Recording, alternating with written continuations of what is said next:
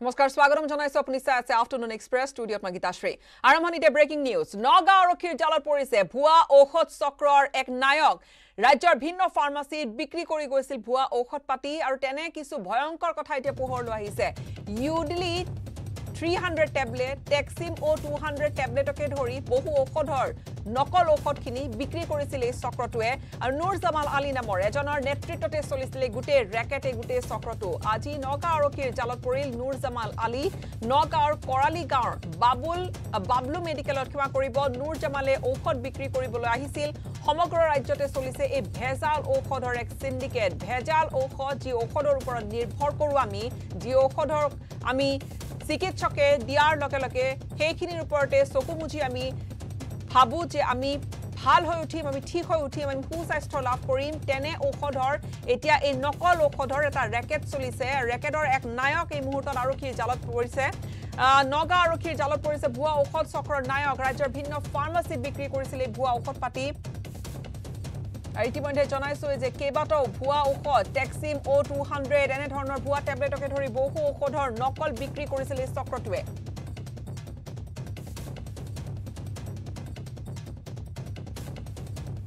বহুত বেয়া ঔষধ বেছি আছে গোটেই অঞ্চলটোৰ মানুহে খাই আছে। হা গোটেই পুৰণি নাম অঞ্চলত একদম বিয়পাৰিছে সি গোটেই বেয়া ঔষধ। এটাও কাম নকৰে খালি পইচা ভৰিছে মানুহে। নাই আঢ়ৈ মাহৰ আগত সি আহিছে মোৰ ওচৰত। তেতিয়াই মই তাক ঔষধ লৈ দিছোঁ তাক ফচাবৰ কাৰণে। সি দি থৈ গৈছে পইচাও লোৱা নাই। কৈছে আপুনি এইখিনি বেছি পইচা দিব। তেতিয়াৰ পৰা মই কোম্পেনীৰ এম আৰ কোম্পেনীৰ মেনেজাৰ চবৰ লগত কথা পাতিছোঁ। মানে কোনেও গাত নলয় কথাটো। সন্দেহটো সেইদিনাখনেও কৰিছে কাৰণ ইমান ডিফাৰেঞ্চ পইচা যিটো ফাইভ ছেভেণ্টি ফ'ৰ ৰুপিজৰ মানে ইউটিলিটি থ্ৰী হাণ্ড্ৰেড সিহঁতে নাইণ্টি ছিক্সত দিয়ে। মই লৈ দিছোঁ সেয়া ঔষধ দেখিবলৈ একেই। ছেম কোনো ধৰিব নোৱাৰে কোনেও ক'ব নোৱাৰে যে এইখিনি ঔষধ যে বেয়া। সেইমতে আমি আজি এই অপাৰেশ্যন লঞ্চ কৰিলোঁ। পাই পিনি তেখেতক গম পালোঁ মানুহজনৰ নাম নুৰ জামাল আলী হয়। তেখেত আমাৰ নগাঁও চিমলগুৰিৰ বাসিন্দা হয়। তেতিয়া আমি কেছটো আমি ল'ম কেছ এটা ল'ম তো আমি ইনভেষ্টিগেট আৰম্ভ কৰিম। তো গম পাম এতিয়া ক'ৰ পৰা আনিছে কেনেকৈ আনিছে ক'ৰ পৰা ছাপ্লাই কৰিছোঁ। আমি এতিয়া এতিয়া তেখেতক আমি প্লেন কৰিছোঁ সোধপোছ কৰি পিনি চাওঁ কি কৰিব লাগিব। ইনভেষ্টিগেট কৰিম কেছ ল'ম লগতে মোৰ অচি ৰূপহীয়াটো আছে তেখেতে আগবঢ়াই নিব কেছটো আৰু এই মুহূৰ্তত আমি নগাঁৱৰ পৰা আমাৰ সাংবাদিক নীলোৎপল বৰাৰ সৈতে ফোনযোগে সংযুক্ত হৈছো। নীলোৎপল এই যি কথাখিনি পোহৰলৈ আহিছে ইউডিলিভ থ্ৰী হাণ্ড্ৰেড বা টেক্সিমো টু হাণ্ড্ৰেড এনেকুৱা ধৰণৰ ঔষধ পাতিবোৰ আচলতে নকল এতিয়া বজাৰত উপলব্ধ হৈ পৰিছে। আৰু এই চক্ৰ কিমান ডাঙৰ হ'ব পাৰে? এজন নায়ক ধৰা পৰিছে ঠিকে কিন্তু এই চক্ৰই কিন্তু নিশ্চয়কৈ সকলোকে বিপদত পেলাইছে ইতিমধ্যে। নিশ্চয় গীতাশ্ৰী যি এক ঘটনা আজি পোহৰলৈ আহিছে নগাঁৱৰ উপ আৰক্ষী অধীক্ষক ত্ৰিদীপ কুম্বাঙৰ নেতৃত্বত। নগাঁও আৰক্ষী দলে আজি ঔষধ বিক্ৰী প্ৰতিষ্ঠানৰ বিৰুদ্ধে যি এক অভিযান চলাইছিলে প্ৰকৃততে বাবলু মেডিকেল নামৰ এখন ফাৰ্মাচীৰ স্বত্বাধিকাৰী আহ, প্ৰমোদ হাজৰিকাৰ খবৰৰ ভিত্তিত আৰক্ষী অভিযান চলাইছিলে। কিন্তু এই মুহূৰ্তত আমাৰ হাতলৈ যি খবৰ আহিছে সেই ঔষধখিনি নকল ঔষধ নে প্ৰকৃতত চুৰি কৰা ঔষধ সেই বিষয়ে আৰক্ষী অনুসন্ধান চলাই আছে। কাৰণ পোৱা যায় বিভিন্ন প্ৰতিষ্ঠানে কৰ ফাঁকি কৰি এনেধৰণে ঔষধ বজাৰত গোপনে বিক্ৰী কৰে। সেই সেই সেই চক্ৰৰ লগত জড়িত নেকি সেই বিষয়ত অনুসন্ধান চলিছে কিন্তু যদিহে ভেজাল ঔষধ হয় তেনেহ'লে ইউডিলিভ থ্ৰী হাণ্ড্ৰেড বা এনেধৰণৰ যিসমূহ ঔষধ প্ৰায়ে ৰাইজে গ্ৰহণ কৰে তেনেকুৱা ঔষধসমূহ খায়। গতিকে ঔষধৰ নামত বৰ বিষ খাইছে নেকি ৰাজ্যবাসী? সেয়াও কিন্তু যথেষ্ট প্ৰশ্নৰ বিষয়। আৰু আমি এটা কথা ক'ব লাগিব যে যি দেখিবলৈ পোৱা গৈছে যে নগাঁৱত বৰ্তমান এই নুৰ জামাল আলী যিগৰাকী ঘৰ শিমলুগুৰিত তেওঁ এইদৰে বিভিন্ন প্ৰতিষ্ঠান নগাঁৱৰ বিভিন্ন ঔষধ বিক্ৰী প্ৰতিষ্ঠানত তেওঁ ঔষধ বিক্ৰী কৰিছিলে যিটো ইউৰিলিফ থ্ৰী হাণ্ড্ৰেড যিটো বজাৰত দাম ছশ ছশ পঞ্চাছ টকা পায় আৰু সেই ঔষধটো মাত্ৰ সাতানব্বৈ টকাতে বিক্ৰী কৰি বিক্ৰী কৰাৰ সুবিধা কৰি দিছিলে ঔষধ বিক্ৰী প্ৰতিষ্ঠানসমূহক। সেই ঔষধ বিক্ৰী প্ৰতিষ্ঠানসমূহক কিন্তু এই ঔষধসমূহ কম দৰত কিনি বিভিন্ন ক্ৰেতাক তেওঁলোকে বিক্ৰী কৰি আহিছিলে। কিন্তু এনেধৰণৰ ঔষধ প্ৰায়ে সেৱন কৰিবলগীয়া আৰু জীৱনদায়িনী ঔষধৰ নামত যদিহে ভেজাল ঔষধৰ ব্যৱসায় চলিছে তেনেহ'লে ৰাজ্যৰ বাবে কিন্তু চৰম ভয়ংকৰ এক কথা। ৰাজ্যবাসীয়ে কিন্তু আন সামগ্ৰীৰ লগতে ভেজাল ঔষধো যদি খাইছে তেতিয়াহ'লে ইয়াতকৈ হয়তো দুৰ্ভাগ্যজনক কথা একো থাকিব নোৱাৰে। আৰু এই সমগ্ৰ বিষয়টো বৰ্তমান নগাঁও আৰক্ষী অধীক্ষক আনন্দ মিশ্ৰাই তদন্ত কৰি আছে। আৰু বিভিন্ন ঔষধ বিক্ৰী প্ৰতিষ্ঠানৰ বহু স্বত্বাধিকাৰীকো অতি শীঘ্ৰেই হয়তো নগাঁও আৰক্ষীয়ে জেৰা কৰিব পাৰে বা আটক কৰিব পাৰে সেই সেয়া ইতিমধ্যে প্ৰায় সেই সম্ভাৱনা প্ৰকট হৈ পৰিছে। কিন্তু এটা কথা ক'ব লাগিব যে নগাঁও আৰক্ষী সফল অভিযান। আৰু যিগৰাকী বাবলু মেডিকেল স্বত্বাধিকাৰী প্ৰমোদ হাজৰিকা তেওঁ নিজৰ মুনাফাৰ কথা চিন্তা নকৰি ৰাইজৰ কথা চিন্তা কৰি যিদৰে আৰক্ষীক খবৰ দিলে তাৰ সেই পৰিপ্ৰেক্ষিততে বৰ্তমান দেখিবলৈ পোৱা গৈছে এই চক্ৰটো উৎখাত হৈছে। আৰু নগাঁও আৰক্ষীয়ে সফলতাৰে এটা যি বৃহৎ চক্ৰ উৎখাত কৰিছে কিন্তু এতিয়াও ইয়াৰ অন্তৰালত থকা যিসমূহ মূল নায়ক তেওঁলোক এতিয়াও পলায়ন কৰি আছে। চাওক তাতে আনোৱাৰ প্ৰশ্নটো আছে নীলোৎপল যে এই নুৰ জামাল ধৰা পৰিছে ঠিকেই কিন্তু এই নুৰ জামালে ৰেকেট কিমান ডাঙৰকৈ পেলাই থৈছিল আৰু এই ৰেকেটে ক'ত ক'ত বা কাম কৰি আছে অসমৰ কোন কোন ঠাইত বা এই ধৰণৰ ভেজাল ঔষধ পাতি বিক্ৰী কৰি আহিছিল। সেইখিনি কথা নিশ্চয়কৈ এতিয়া তদন্তৰ আওতালৈ আহিব লাগিব। নহ'লে হয়তো আৰু বহু লোকে এনেকৈ ভেজাল ঔষধেই খাই তেওঁলোকে হয়তো এতিয়ালৈকে তেওঁলোকে সুস্বাস্থ্যৰ অধিকাৰী হ'ব পৰা নাই। ওলোটা তেওঁলোকৰ হয়তো ছাইড ইফেক্ট হৈছে।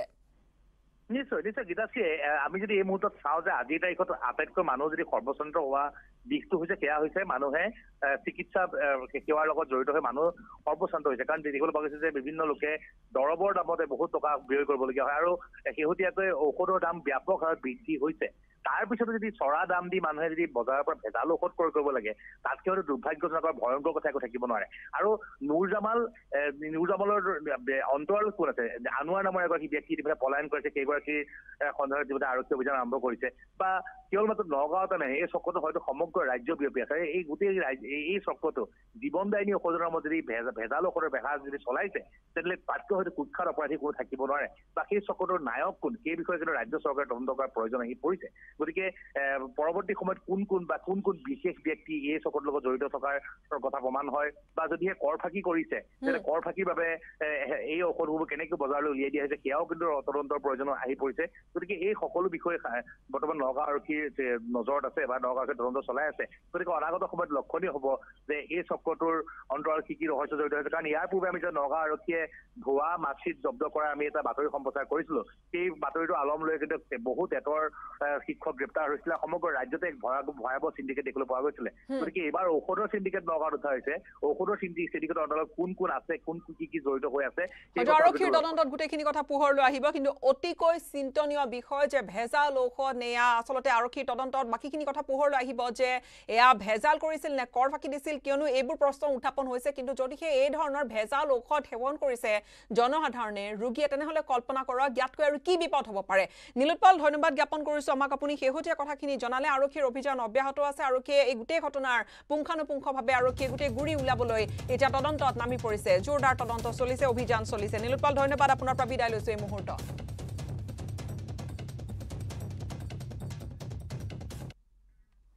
পোহৰৰ উৎসৱ দীপাৱলীলৈ মাজত মাথো দুটাকৈ দিন বাকী আৰু সমগ্ৰ দেশৰ লগতে ৰাজ্যবাসীয়ে পালন কৰিব হেঁপাহৰ উৎসৱ পোহৰৰ উৎসৱ দীপাৱলী।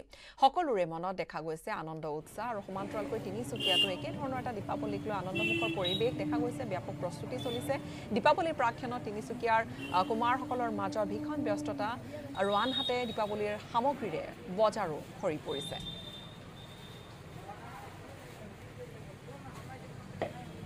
তিনিচুকীয়াৰ এইসকল ব্যৱসায়ীৰ বিষয়ে আমাক জনাব অধিক আমাৰ সাংবাদিক উপাসনা বৰুৱা গোস্বামীয়ে।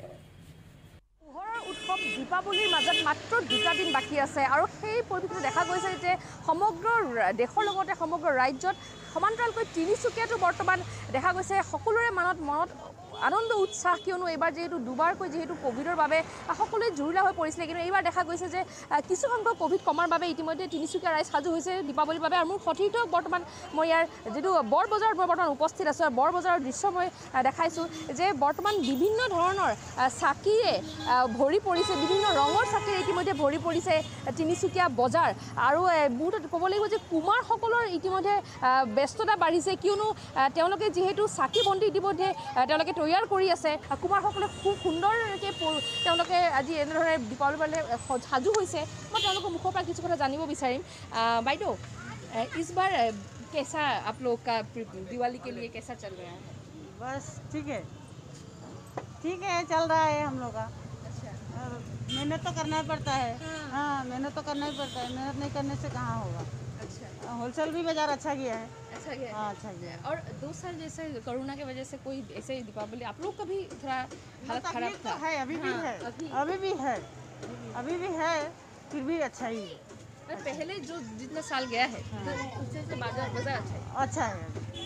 अभी इस बार अच्छा है। है और सवेरे से लोग आते हैं मतलब हाँ हाँ हाँ हाँ लेने आते हैं। आते हाँ हैं। হয় নিশ্চয়কৈ যিহেতু তেওঁলোকৰ ব্যস্ততা ইতিমধ্যে সকলোৱে যিটো দেখা দেখা পোৱা গৈছে। মই আৰু এখন দোকানলৈ যাবলৈ যত্ন কৰিম যিটো আৰু এখন দোকান বিখ্যাত এখন দোকান তিনিচুকীয়াৰ এখন বৰ্তমান দিৱালীৰ মোৰ সতীৰ্থ বৰ্তমান ইয়াৰ দৃশ্য দেখাই আছে যে কেনেদৰে বৰ্তমান চাকি বন্তি পুৱাৰ ভাগৰ পৰা যিহেতু বিক্ৰী হৈ আছে আৰু কেৱল চাকি বন্তিয়ে নহয় ইয়াতে কিছু যিটো মালা বা দিৱালীৰ বাবে বিশেষকৈ যিহেতু সকলোৱে যিটো পোহৰৰ উৎসৱ যিটো দীপাৱলী ইতিমধ্যে পালন কৰিবলৈ সকলোৱে ইতিমধ্যে সাজু হৈছে। আৰু দেখা গৈছে এই মুহূৰ্তত সকলোৰে মান মনত আজি ব্যস্ততা হৈ পৰিছে এইখন বিশেষ দোকান। আৰু তেওঁলোকে আজি এনেদৰে কেৱল অকল চাকি বন্তিয়ে নহয় দিৱালীৰ যিসকল সামগ্ৰী সকলো সামগ্ৰী ইয়াত উপলব্ধ হৈছে। আৰু সেয়াই মই বৰ্তমান দেখাইছোঁ দিৱালীৰ বাবে যে সকলো ৰাজ্যৰ লগত যিহেতু সকলোৱে সাজু হৈছে ইতিমধ্যে দিৱালীত আৰু তিনিচুকীয়াবাসীও ইতিমধ্যে সাজু হৈ উঠিছে পোহৰৰ উৎসৱ দীপাৱলী পালন কৰিবলৈ। পুনৰ স্বাগতম জনাইছোঁ। খেত্ৰীৰ খালৈবাৰীত পথ দুৰ্ঘটনাত গুৰুতৰভাৱে আহত হৈছে ডিমৰীয়া মহাবিদ্যালয়ৰ কৰ্মচাৰী। সাতত্ৰিছ নম্বৰ ৰাষ্ট্ৰীয় ঘাইপথৰ ডিভাইডাৰ পাৰ হ'বলৈ সৰুতে স্কুটিত খুন্দা চাৰিচকীয়া বাহনৰ। আৰু এই দুৰ্ঘটনাত স্কুটিখনৰ সন্মুখ ভাগ সম্পূৰ্ণ বিধ্বস্ত হৈ পৰিছে। ফলত গুৰুতৰভাৱে আহত হৈছে স্কুটি আৰোহী মহিলাগৰাকী। আহত মহিলাগৰাকী ডিমৰীয়া মহাবিদ্যালয়ৰ কৰ্মচাৰী আৰু সম্প্ৰতি আহত ডিমৰীয়া মহাবিদ্যালয়ৰ কৰ্মচাৰীগৰাকীক চিকিৎসালয়ত ভৰ্তি কৰিছে আৰক্ষীয়ে।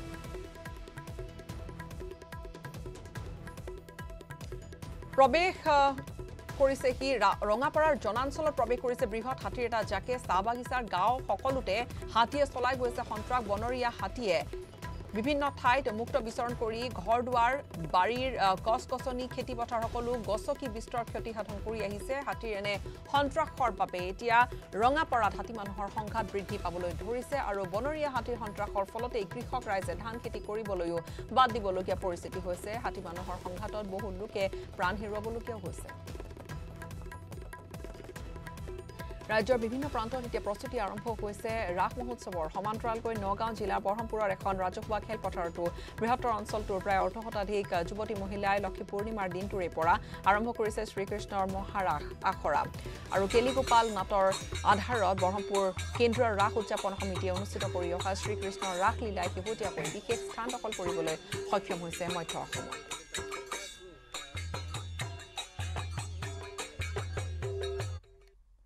দক্ষিণ কামৰূপৰ সুন্তলীত বাইক চুৰ আটক কৰা হৈছে। বদলা বজাৰৰ পৰা আৰক্ষীয়ে ৰাইজে বাইকসহ আটক কৰিছে চুৰটোক। আটকাধীন চুৰটো জাওকাটা দিয়াৰ নুৰ আলম বুলি চিনাক্ত। ধৃত চুৰটোৰ পৰা উদ্ধাৰ কৰা হৈছে এখন বাইক। বাইকসহ চুৰটোক ৰাইজে চমজাই দিছে সুন্তলী আৰক্ষীক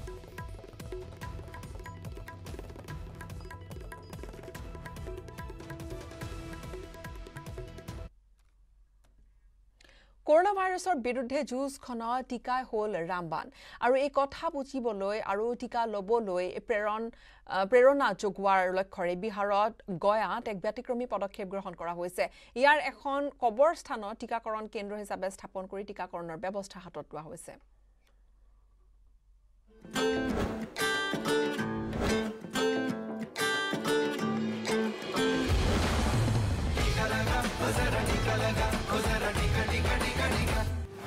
কবৰস্থানত জীৱন ৰক্ষক কৰোণা টীকা। কৰিমগঞ্জ কবৰস্থান কমিটিৰ বিশেষ পদক্ষেপ। পোন্ধৰ হাজাৰৰো অধিক লোকক টীকাকৰণ। কৰোণাৰ সংকট দূৰ কৰক প্ৰাণ বচাব ইয়েই। কিয়নো টীকাই হ'ল সঞ্জীৱনী আপুনি ল'লেনে?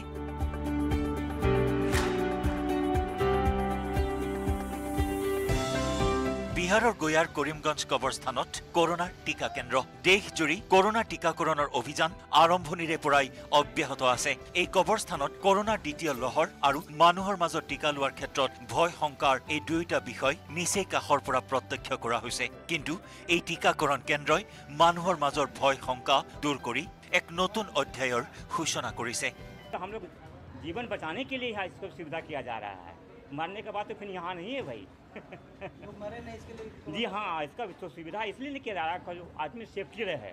अगर हम इस चीज़ को ख़त्म करना चाहते हैं तो लोगों को तो बढ़ चढ़ के कदम आगे बढ़ाना चाहिए और ये वैक्सीन लेना चाहिए। लोगों के जो मन में भय है डर है इस सबको किनारे कर करके और अपना जीवन को देखते हुए पर परिवार का रक्षा करने के लिए ये सब चीज़ करना ज़रूरी है কৰিমগঞ্জৰ এই কবৰস্থানৰ কৰোণা টীকা কেন্দ্ৰত এই পৰ্যন্ত পোন্ধৰ হাজাৰৰো অধিক লোকক টীকা প্ৰদান কৰা হৈছে য'ত অধিক সংখ্যক মুছলমান লোককেই প্ৰদান কৰা হৈছে টীকা যি কৰোণা টীকাক লৈ যথেষ্ট শংকিত হৈ আছিল কবৰস্থান কমিটি মানুহৰ প্ৰতিটো ভয় শংকাই সমাধান কৰিছে भारत सरकार का ऐलान हुआ है तब से ये लगाया जा रहा है रोज़ाना लगता है और जो मुसलमान इससे परेशान थे कि नहीं इससे नुकसान होगा लोग मर जाएंगे ये बिल्कुल गलत है पहले तो लोग डरते थे इसमें कोई कोई दो राय नहीं है लेकिन अब इस करीमगंज न्यू करीमगंज के अलावा जितने भी अगल बगल के मोहल्ले हैं सब सभी मोहल्ले के लोग यहाँ आ रहे हैं चाहे वो हिंदू हो या मुसलमान हो बहुत खुशी से आ रहे हैं और खुशी से वैक्सीन लेके जा रहे हैं अब तो यहाँ सेकेंड डोज भी पड़ रहा है কৰোণা মহামাৰীৰ বিৰুদ্ধে ভাৰতে এশ কোটি টীকাকৰণৰ ঘৰ পাৰ কৰিছে ইয়াৰ অন্তৰালত চৰকাৰৰ লগতে কৰিমগঞ্জ কবৰস্থানৰ কৰোণা টীকাকৰণ কেন্দ্ৰৰ আৰু ইয়াৰ সদস্যসকলৰো অংশীদাৰ অন্তৰ্ভুক্ত হৈ আছে য'ত টীকাকৰণৰ পৰিসংখ্যা ঊৰ্ধগামী হৈছে।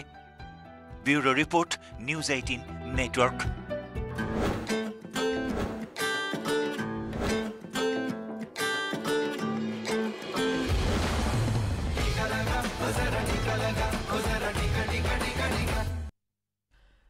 আন কিছু খবৰলৈ আগবাঢ়িম।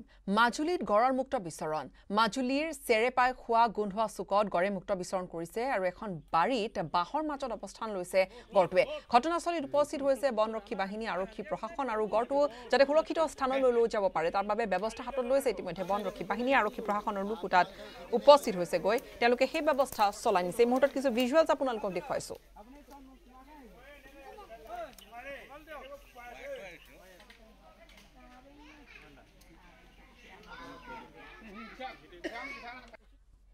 কোভিড পৰিস্থিতিৰ বাবে দ্বিতীয়বাৰৰ বাবে মঙলদৈত বাতিল কৰা হ'ল শ্ৰী শ্ৰীকৃষ্ণৰ ৰাস মহোৎসৱ।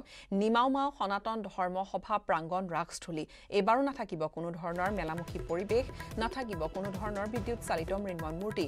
বন্ধ হৈ পৰি আছে মৃন্ময় মূৰ্তি স্থাপন কৰা গৃহসমূহ। কোভিড মহামাৰীৰ প্ৰতি লক্ষ্য ৰাখি ৰাস মহোৎসৱ বাতিলৰ সিদ্ধান্ত লৈছে কমিটিয়ে। ইয়াৰ বিপৰীতে দুদিনীয়া কাৰ্যসূচীৰে পূজা ভাগ আগবঢ়োৱাৰ লগতে ধৰ্মালোচনী সভা অনুষ্ঠিত কৰিব কমিটিৰ সদস্যসকলে। এই সন্দৰ্ভত এক প্ৰতিবেদন আগবঢ়াম আমাৰ সাংবাদিক নৱজ্যোতি মহন্তৰ। মাত্ৰ দুইদিনীয়াকৈ ৰাস অনুষ্ঠিত কৰিবৰ কাৰণে ৰাস কমিটি সাজু হৈছে। আমি দেখুৱাম যি স্থানত প্ৰতি বছৰে এই যি ৰাসস্থলীত বিভিন্ন মূৰ্তি দেখিবলৈ পোৱা যায় আৰু প্ৰতি বছৰে প্ৰায় তিনিশ চাৰিশ মূৰ্তি ইয়াতে স্থাপন কৰা হয় আৰু ভিন্ন প্ৰান্তৰ পৰা লোকসকল আহে দৰ্শনাৰ্থীসকল আহি আহ, যি ৰাস উপভোগ কৰে। কিন্তু ক'ভিডৰ কাৰণে যি ক'ভিড মহামাৰীৰ যি নীতি নিয়ম আছে এই নিয়মৰ কাৰণে এইবাৰ কিন্তু ৰাস বাতিল কৰাৰ সিদ্ধান্ত গ্ৰহণ কৰিছে কমিটি। আমি কমিটিৰ লোকলৈ জানিব বিচাৰিম। যিহেতু এইবাৰ ৰাস অনুষ্ঠিত কৰা। কি কি সিদ্ধান্ত গ্ৰহণ? যিটো আহ, ক'ভিড মহামাৰীৰ অৱসান হোৱা নাই। গতিকে আমি আমাৰ কমিটিয়ে সিদ্ধান্ত লৈছে যে আমি ৰাস দুদিনীয়াকৈ উদযাপন কৰোঁ। দুদিনীয়া মানে এদিন হ'ব আমাৰ ৰাস পূজা। উম, পূজা হ'ব আৰু দ্বিতীয় দিনাখন আমাৰ ধৰ্ম আলোচনী সভা এখন হ'ব যদি মানে সীমিত সংখ্যক মানুহে আমি কৰিব পাৰোঁ আৰু ৰভা তোৰণ নোহোৱাকৈ আমাৰ স্থায়ী যি সভাঘৰ আছে সেই সভা ইয়াৰ সৈতে সময় হ'ল এতিয়া বাতৰিৰ পৰা বিদায় লোৱাৰ নমস্কাৰ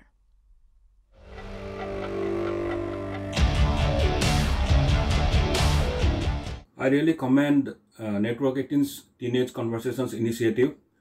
It's not only topical, but it's also very timely given the recent horrific incident in Assam in which a little small uh, child was killed by three other very small children. Uh, I think uh, as far as sex education goes, uh, the age to start start it is going down and down given the explosion of digital media around us and uh, the awareness need to be created not only by the parents or the family but also by the schools and the society at large. And we need to be also very alert and uh, aware about the dangers that are lurking uh, from uh, various uh, sex, uh, various sources especially digital. And as also uh, many of the uh, dangers that lurk in our society. I think this campaign will go a long way in starting a movement, and I, I hope it is not a one off movement, but, uh, but it's going to be a long term one.